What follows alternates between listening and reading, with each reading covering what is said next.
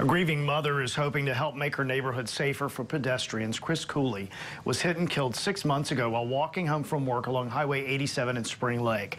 The driver who hit him left the scene and hasn't been identified. Chris's mom is organizing a walk in his honor. She's hoping to raise awareness for distracted driving, the importance of wearing reflective gear while you walk, and she wants a sidewalk built near that area. If, if I can save one more parent from living the hell that I have, then this death won't be in vain. can only imagine her pain. Walking for Cooley starts at 11:30 on Saturday on Melody Lane in Spring Lake.